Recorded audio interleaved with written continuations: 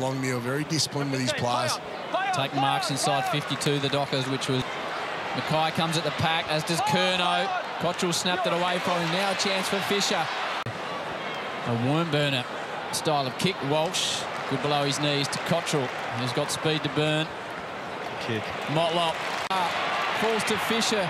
This time they look for a short option and it works. Yeah, really, yeah, really smart kick. Uh, trying to predict the ball going deep, and then those little ones, albeit it had to be a really good kick, but those those are the ones that open up. Cottrell, one goal for the season. Kicks towards the Dockers cheer squad.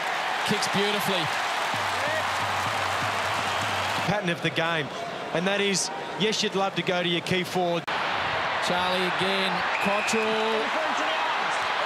Advantage paid, O'Brien will roll in! Five on the trot for the Navy Blues!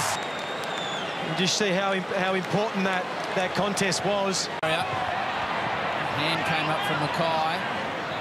Cottrell.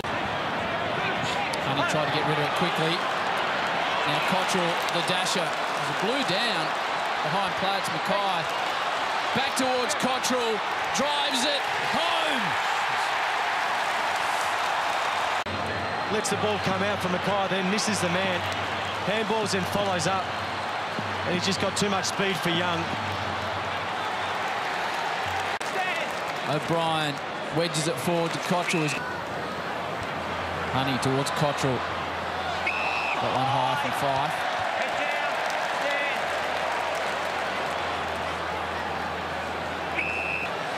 Should be handy to see them come up against each other at some stage. Fisher, Cottrell, Darcy